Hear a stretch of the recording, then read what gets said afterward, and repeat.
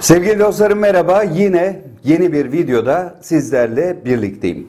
Bu videomuzda 176 milyar dolar kimin sorusunun cevabını vermeye çalışacağız. 176 milyar dolar Türkiye'nin kamu borçlarından bile fazla bir rakamdan bahsediyoruz. 176 milyar dolar Türkiye'nin özel sektör borçlarının yarısından fazla olan bir rakamdan bahsediyoruz. 176 milyar dolar Merkez Bankası rezervlerinin neredeyse 6 katı olan bir rakamdan bahsediyoruz. Daha bundan bir hafta önce 172 milyar dolardı ve cuma günü itibariyle bu rakam 176 milyar dolara çıktı. Büyük ihtimalle pazartesi salı günü itibariyle de 180 milyar doların üzerine çıkmış olacak. Peki 176 milyar dolar vatandaşın parası denilip geçiştiriliyor. Gerçekten vatandaşın özellikle 1600-1700 lirayla geçinmek zorunda olan asgari ücretin altında ücretlendirmeyle evine ekmek götürmeye çalışan vatandaşın böyle bir parası var mı? Ya da 2020 lira agi dahil asgari ücret alan bir vatandaşın evine ekmek götürdükten sonra para arttırıp bu parayla dolar alıp bankaya yatırma imkanı var mı?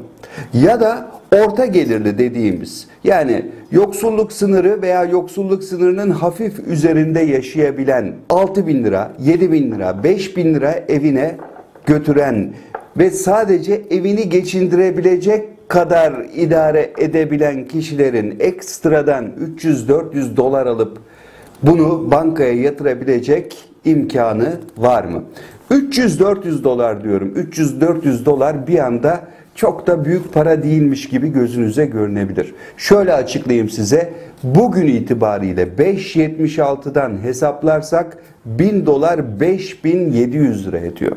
Evet 5760 lira ediyor sevgili dostlarım. Yani eğer ki bir kişi 500 dolar alıp kenara atmak isterse 2500 liranın üzerinde bir parasının olması gerekiyor. Kaç kişi 500 dolar alıp bankaya yatırdı ve 176 milyar dolarlık döviz mevduatına yatırım yaptı? Hadi bakalım bunun cevabını bulalım. Bunun cevabı şu sevgili dostlarım. Vatandaşın dedikleri para aslında büyük tüccarların, büyük iş adamlarının, büyük müteahhitlerin parası. Peki bu paraya niye yatırım yaptılar? Neden iş adamları son bir ay içerisinde bu kadar çok dövize yatırım yaptılar ve banka mevduatlarına yatırdılar? Çok dikkat çekici bir soru soruyorum sizlere sevgili dostlarım. Bakın 176 milyar dolar Merkez Bankası'nın nakit rezervlerinin neredeyse 6 katı olan bir rakamdan bahsediyorum. Az buz bir para değil bu ve fiili bir para. Yani kişilere ait olan bir paradan bahsediyoruz. 176 milyar dolarlık bir döviz mevduat hesabını kimler oluşturdu diye soruyorum sizlere. Eğer ki vatandaş böyle bir tasarruf yapacak parayı kazanamıyorsa bu tasarrufu kimler yapmış olabilir? İsimleri çok sıkça ihalelerde geçen, şimdi tek tek vermeyeceğim bu isimleri. Şirketler acaba yüksek miktardaki kazançlarını dövize yatırıp bu dövizi de mevduata mı yatırdılar? Bankalarda onların hesapları mı var? Bu konuyla ilgili acil inceleme başlatılması gerekiyor. Nasıl hiç alakası olmayan sadece konuşan kişilere soruşturma açılıyorsa Türkiye'de mutlaka ve mutlaka bu kişilerin de soruşturulması gerekiyor. Yöntemi gayet basit sevgili dostlarım. Bankaların hesaplarına bakacaklar ki burası İsviçre olmadığı için banka hesaplarını devlet kontrol edebiliyor. Yüksek mevduatların kimlere ait olduğunu sadece sorgulayacaklar ve bu yüksek mevduat sahiplerinin bu parayı ne zaman ve neden dövize yatırdığını soracaklar. Bu kadar basit. Eğer ki ortada bir manipülasyon, ortada bir spekülasyon varsa işte bu 176 milyar doları alan o büyük mudiler yapıyor bu spekülasyon ya da manipülasyonu. Bakın bu soruyu da hepimizin sorması gerekiyor. Neye dayanarak döviz aldılar? Kimin sözüyle döviz aldılar? İçeriden hangi bilgileri alarak döviz aldılar? Neden bu kadar çok dolara yatırım yaptılar? Acaba sadece döviz açıklarından dolayı mı yoksa dövizdeki bu yükselişi zaten biliyorlar mıydı? Bakın çok net bir soru soruyorum. Önümüzdeki hafta dövizde özellikle dolarda çok sert bir yükseliş yaşanabilir. Bugün sizlerle bir video paylaşmıştım sabah saatlerinde ve şunu söylemiştim. AK Parti ve Milliyetçi Hareket Partisi dolardaki yükselişi bir siyasi propaganda haline getirebilir.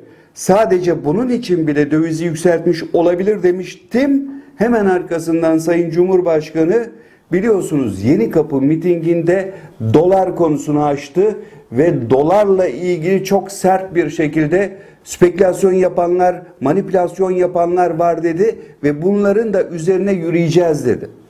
Bakın açık ve net söylüyorum. Spekülasyon suç değildir.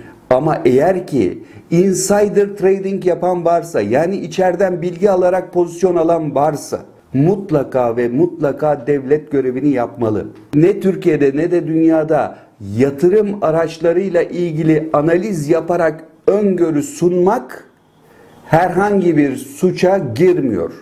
Ancak özellikle yetkili makamlarda bulunup içeriden bilgi sızdırmak ve bu bilgiye istinaden pozisyon almak çok ağır bir SPK suçu sevgili dostlarım. Mevzuat danışmanlık hizmeti ile ilgili herhangi bir kısıtlamada bulunmuyor. Özellikle SPK kanuna bakıldığı zaman bunun ayrıntılarını çok net bir şekilde görüyoruz. O zaman neden ama tekrar neden diye soruyorum size. Şikayetlerden yola çıkarak BDDK ve Sermaye Piyasası Kurulu çeşitli bankalar üzerinde siz neden danışmanlık hizmeti veriyorsunuz? Neden raporlama yapıyorsunuz diye inceleme başlattı. Ve neden bunu seçime bir hafta kala ve yaratacağı olumsuz etkiyi bile bile yaptı. Bakın pazartesi günü bu konunun çok net etkileri olacak sevgili dostlar. Bu yapılanın çok ciddi etkilerini göreceğiz pazartesi günden itibaren.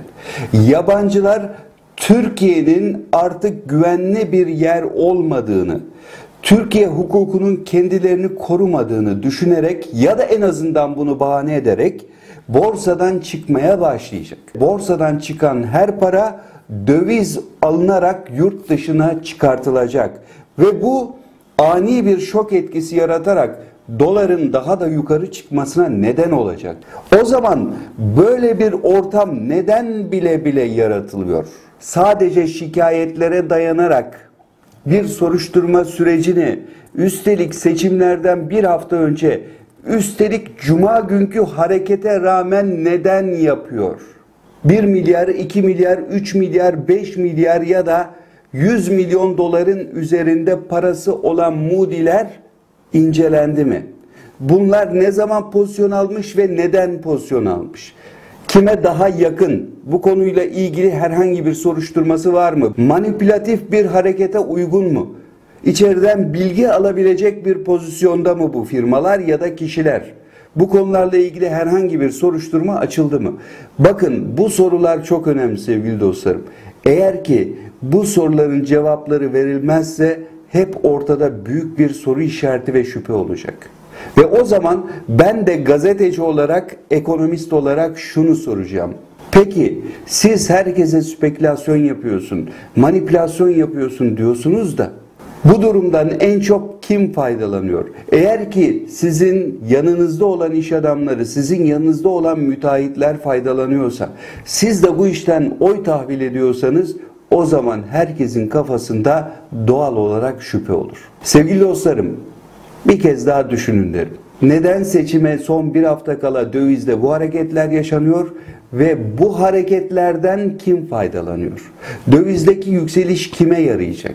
Kim bunu bir söylem olarak geliştiriyor? Kim bunu bir propaganda malzemesi olarak kullanıyor? Ve dövizdeki yükseliş esasen hangi döviz yatırımcısına fayda sağlıyor? Lütfen bunları iyi düşünün, iyi sorgulayın. Bu videomun da sonuna geldik. Yeni videolarımızda tekrar birlikte olacağız. Şimdilik hoşça kalın, mutlu kalın, kanalımıza abone olun, yorumlarınızı mutlaka bekliyorum ve tabii ki eğer ki videomuzu beğendiyseniz dostlarınızla, ailenizle, akrabalarınızla, arkadaşlarınızla ve yakınlarınızla mutlaka ama mutlaka paylaşın. Hoşça kalın, mutlu kalın sevgili dostlarım.